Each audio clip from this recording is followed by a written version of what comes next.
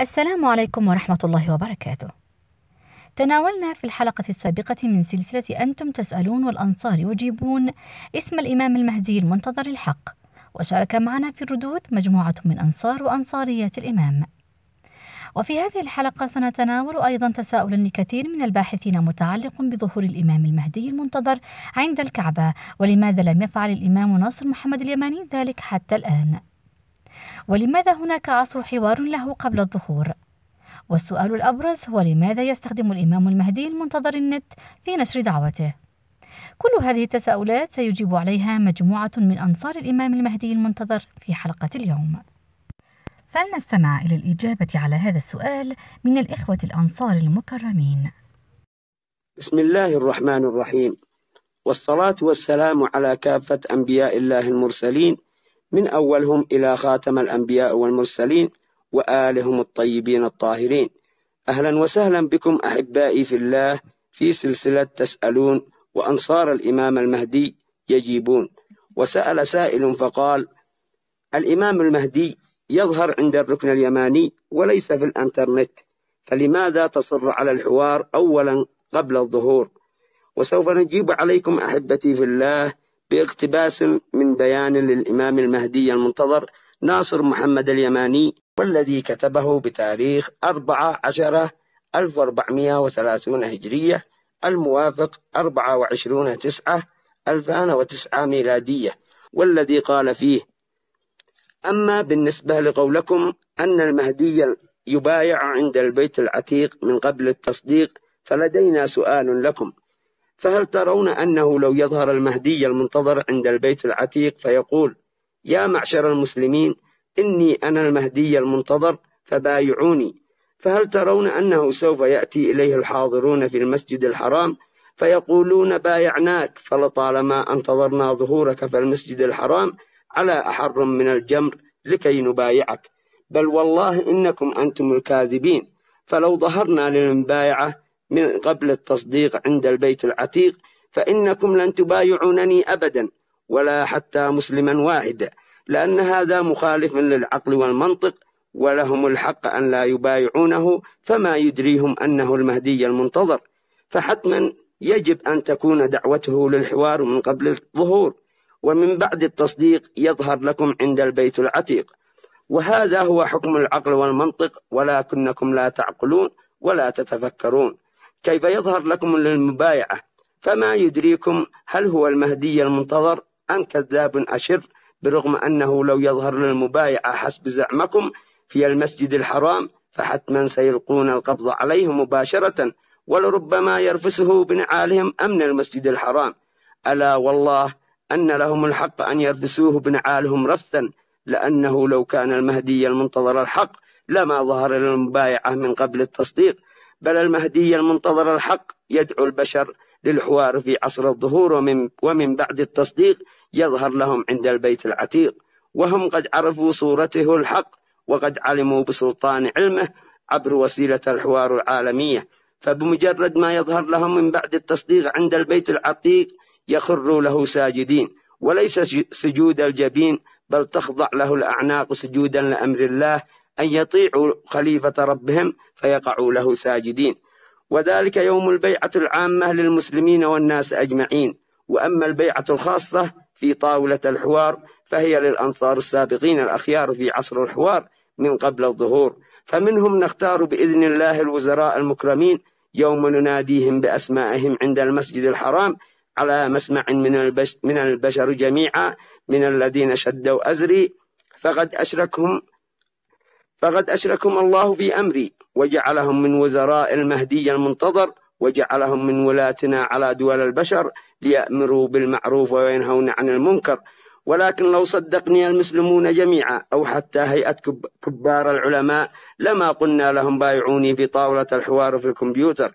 بل سوف أظهر مباشرة من بعد التصديق عند البيت العتيق وإنما البيعة في الكمبيوتر في طاولة الحوار خاصة للأنصار السابقين الأخيار في عصر الحوار من قبل الظهور ومن بعد التصديق أظهر للمسلمين والناس أجمعين في الموقع المقرر لظهور المهدي المنتظر للبيعة العامة.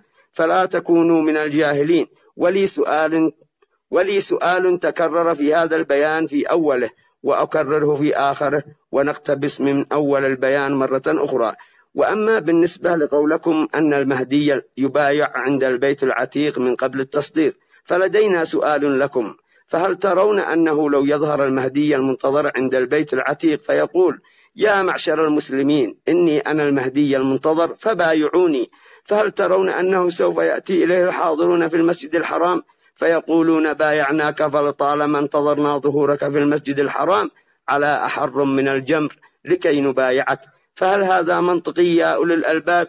وها أنا أفتي أمن المسجد الحرام أنه إذا ظهر لهم رجل في المسجد الحرام يقول لهم أنه المهدي المنتظر ويريد المبايعة أن يرفسوه بنعل أقدامهم رفسا حتى يخرجوا منه مس الشيطان الرجيم الذي يتخبطه واتبع وسوسة الشيطان بغير علم نظرا لأنه كذاب أشر وليس المهدي المنتظر الحق الذي يعلم كيف يكون ظهوره ومتى يبدأ حواره ويخاطب المسلمين بالعقل والمنطق ويدعوهم عبر طاولة الحوار العالمية وسيلة الحوار الحق بقدر مقدور في الكتاب المسطور ويستطيع جميع مفتي الديار الإسلامية وهم في مساكنهم أن يحضروا إلى طاولة الحوار بكل يسر وسهولة وليس عليه وليس عليه إلا أن يفتح جهاز الكمبيوتر فيكتب موقع ناصر محمد اليماني ثم يحضر إليها الباحث طاولة الحوار العالمية موقع الإمام ناصر محمد اليماني.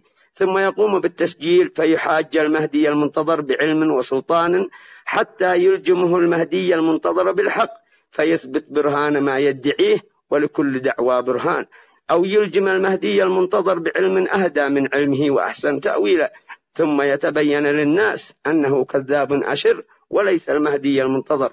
أليس تلبية هذا الحوار بيسير دون ما السفر والترحال إلى المهدي المنتظر الذي يطلب الحوار؟ لأنهم لا ولن يجيبوا دعواه أبدا بالسفر والترحال إليه. لو يحدد لهم موقعه فيطلبهم للحوار لما حضروا إليه أبدا. وحتى لو حضر علماء المسلمين جميعا فأي دار سوف يتسع للحوار؟ أفلا تعقلون؟ بل هذه الوسيلة هي بقدر مقدور في الكتاب المسطور وهي أيسر وسيلة وأسهر وسيلة وأفضل وسيلة للحوار.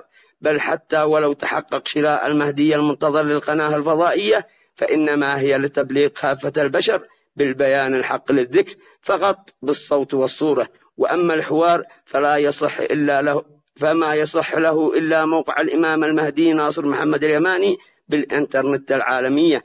أم أنكم تحرمونها على المهدي المنتظر لدعوة البشر بالبيان الحق للذكر وتحلونها فقط للفسق والفجور ومقازلة البنات لاتباع الشهوات. فتجعلون نعمة الله عليكم نقمة. فهل هذا هو شكر الله على هذه النعمة الكبرى؟ أفلا تتقون. ويا قوم إنما نخاطبكم بالعقل والمنطق فانظروا هل ما نقوله لكم هو حقا كلام العقل والمنطق ويقبله العقل والمنطق رغم أنوفكم فإنها لا تعمل أبصار إذا أستخدمتم عقولكم فحقا تفتيكم بالعقل والمنطق ولكن للأسف إنكم لا تعقلون يا معشر المنكرون لأنكم أصلا لم تستخدموا عقولكم برغم أن رواية البيعة العامة عند البيت العتيق حق. ولكن أفلا فكرتم فكيف يظهر للبيعة من قبل الحوار والتصديق؟ فمن ذا الذي سوف يبايعه ولم يعلم علم اليقين أنه المهدي المنتظر الحق من رب العالمين وليس كذاب أشر أم أنه سوف يقنع الحاضرين بكلمتين عند الكعبة ثم يقوموا بمبايعته أفلا تعقلون؟ فاستفتوا عقولكم وسوف تفتيكم فتقول لكم لا ينبغي للمهدي المنتظر الحق أن يظهر للمبايعة عند البيت العتيق من قبل الحوار والتصديق. بل لا بد أن يأتي زمن الحوار. من قبل الظهور ومن بعد التصديق يظهر المهدي المنتظر في المسجد الحرام فيلقى الإجلال والتقدير الكبير وضيفا ذو مقام كبير لدى المملكة العربية السعودية حكومة وشعبا ولكن لو أتبع المهدي المنتظر الحق أهواءكم وظهر المبايعة في المسجد الحرام من قبل من قبل الحوار والتصديق لداسوني بالقناطر ولن يدافع الله عني حتى ولو كنت المهدي المنتظر الحق لو اتبعت أهواءكم تصديقا لقول الله تعالى وكذلك أنزلناه حكما عربيا ولئن اتبعت أهواءهم بعدما جاءك من العلم ما لك من الله من ولي ولا واق. صدق الله العظيم. ولكن هيهات هيهات فلست بمجنون ولن أتبع الذين لا يعقلون. وسلام على المرسلين والحمد لله رب العالمين. الداعي لحوار من قبل الظهور ومن بعد التصديق يظهر عند البيت العتيق المهدي المنتظر الحق الإمام ناصر محمد اليماني. كان هذا اقتباس من بيان الإمام المهدي والذي قرأه عليكم أحد أنصاره إلى الله وسلام على المرسلين والحمد لله رب العالمين.